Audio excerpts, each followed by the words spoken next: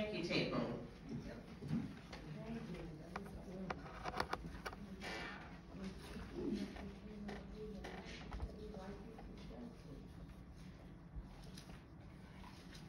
Our New Testament reading um, is Luke thirteen, verses one through nine, and that can be found on page sixteen nineteen in, in the Pew Bibles that you have. What a significant year, sixteen nineteen. But page sixteen nineteen, again, Luke 13, 1 through nine.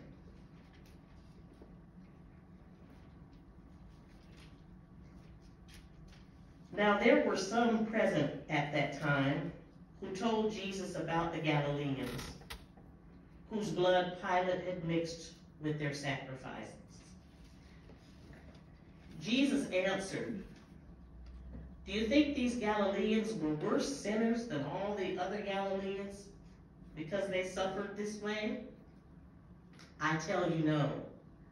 But unless you repent, you too will all perish. Are those 18 who died when the tower in Siloam fell on them, do you think they were more guilty than all the others living in Jerusalem? I tell you no, but unless you repent, you too will all perish. Then he told this parable. A man had a fig tree planted in his vineyard, and he went to look for fruit on it, but did not find any. So he said to the man who took care of the vineyard, For three years now, I've been coming to look for fruit on this fig tree, and I haven't found anything. Cut it down. Why should it use up the soil?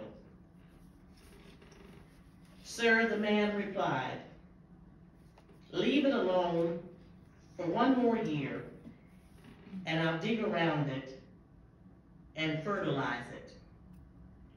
If it bears fruit next year, fine. If not, then cut it down.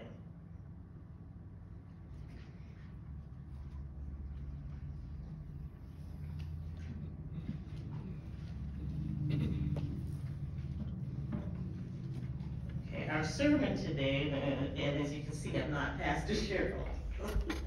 um, but our sermon today is, and it will be, it will be brief. It's called "Who Are We?" And there's many references in the Bible as to who we are, and one of those begins in Genesis one, Genesis one, chap, um, verse 27. So God created man in His own image. In the image of God, He created him, male and female. He created them.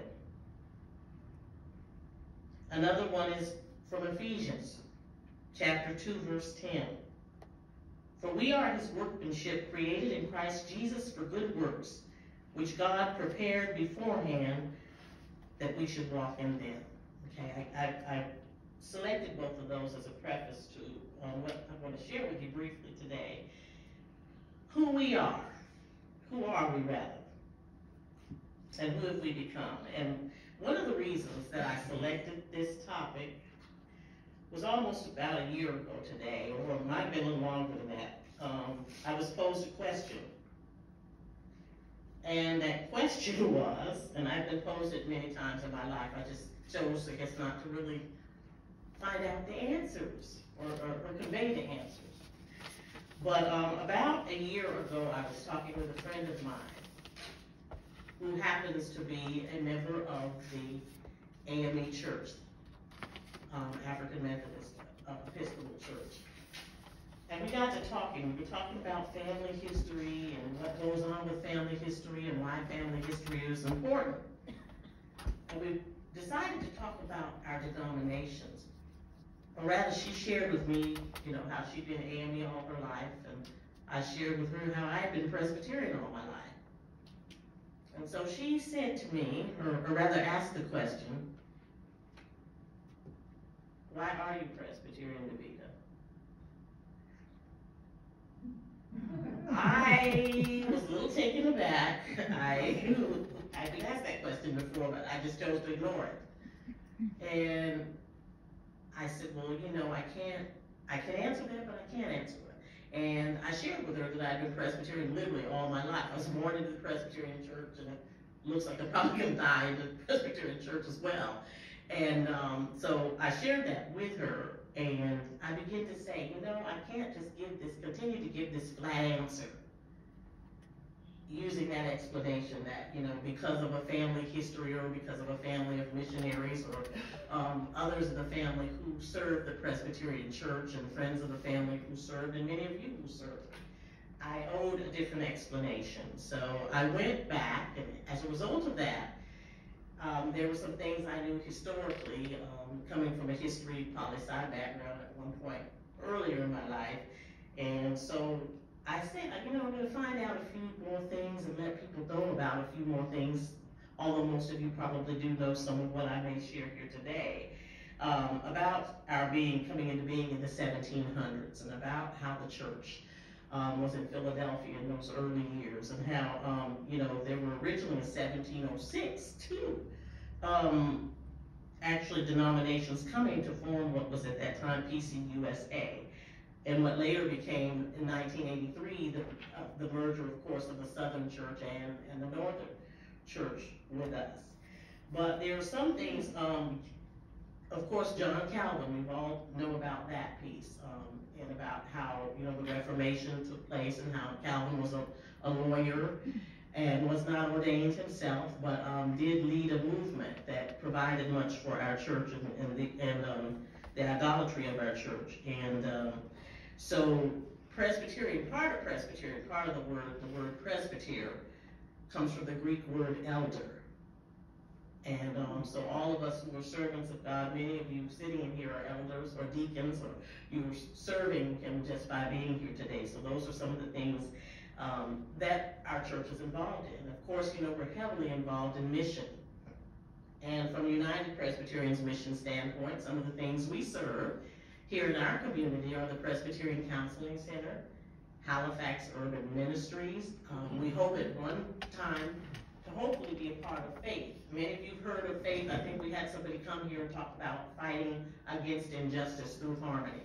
So that's what faith is, and those are some of the things that our church has been doing towards mission. So there is a global mission, and of course there's our church mission within the Presbyterian Church. Um, Many of you probably already know that in 1930, with this being Women's History Month, in 1930, the, the first um, female elder was ordained in the Presbyterian Church at that time.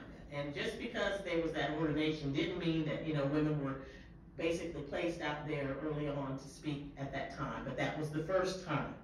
In 1956 was the first time that a, a woman was pretty much ordained in the pastorate. And, and that lady, if I'm not mistaken, I believe she's still around today at the time, Reverend Margaret. Um, and I think that those are some of the things that shape us and why we are who we are. But why are we who we are here at, at United? We came together as a result of a merger um, many years ago. And that merger, um, Reverend Anderson is here, and he was a part of Highlands Presbyterian, as were many of you at that time when we merged to form United in, um, I believe 2005, 2006, if I'm not mistaken. But at that time, um, many of us had to search our souls about the merger. But I think through God, it ended up being one of the best things that happened to us, you know, not only socially, community-wise, but historically. Um, some of the names that I'm going to share with you, many of you may have heard some of these names in the past, but if you have not, um, you know, there are some people that you may want to further delve into their lives. Reverend Sheldon Jackson in 1877 formed mission schools in Alaska. He was also known as one of the first people to bring reindeer to the state of Alaska at that time. And um, his his college was Sheldon Jackson College, which was a school for Indians and Eskimos. And, um, you know, there were some pluses and minuses to that. Um, it's also a school where my parents later happened to work in the 1960s, um, up until, you know, I guess they retired from there. But um, that's one of the prominent names. Um, Thelma Adair, many of you probably know, she was one of the first, um, I think, African Americans and females to moderate um, the General Assembly back in the, around nineteen seventy-six. So we've had a rich history with those things. But as far as our community here, our community here in Daytona Beach with United, there are so many things that we hope to continue to do, and we want you to be a part of. Many of you probably remember in the past some of the things that we've done as far as the, the rummage sales, the Easter egg hunts that we've done, and, and, um, just because we don't physically have the youth here, it, it still doesn't mean that we can't continue to, to grow and continue to do those things to enhance our church and to continue to keep our church alive. So those are some of the things that, that we look at as well. The One Great Hour of Sharing mission is another one that, um, many of you probably seen those envelopes out there. Um, that's one that's been around for quite some time, and the One Great Hour of Sharing has allowed so many people to be educated in the Presbyterian Church, whether it be, you know, at the collegiate level or other levels, and, and getting people to the youth triennium and um, General Assembly on many instances. So those are a lot of the things, not only here that we're doing, but nationally. So we hope to continue to grow those things as part of God's mission here and what our church is about. And so those are some of the things that are what Presbyterians do and continue to do. And I keep stressing mission and community, because those are two, two of the main factors that, you know, whether it be missions here, globally, or wherever else it may be, um, we have, we've had many people who've come here and spoken to us about that through Minute for Mission and other things through the years. And so I think in my research again, now I may be able to kind of answer that question a little bit better. They may not want to hear it. They may not never ask me again. but um, you know, that was just something that's always been pressing on my mind that I need to not just say that I'm Presbyterian, but I need to be able to address some things and to answer some things. And I know many of you are already versed in that, and so that's one reason today um, that I'm sharing this information. Um, one of the main thrusts of our church, of course, is the, our interpretation of the Bible and relying on that in many ways, as you can see, not only through the adult Sunday school, but through what we do in here. So I think it's so important with your help. Many of you have helped us to grow and to promote the church, and we continue to hope to do that. And through you, it just doesn't mean because we don't see little kids here that the church is going to die. No. It can go on and on and on, whether it be in your hearts, your minds. We've all still got minds. Okay? We've all still got hearts. It doesn't matter how old you are, you know. And um, so those are all things that we need to continue to, to look at. And I know that we, you all have ideas. Many of you have, have expressed them. So those are just some things I wanted to briefly share with you today about the church. And the next time someone does ask me why I'm in the church, maybe I'll be able to come up with a more concrete answer. Or either go around the world in 80 days, I. But, um, you know, that's one of the reasons I wanted to share that today. And I appreciate you all being here and you're being attentive.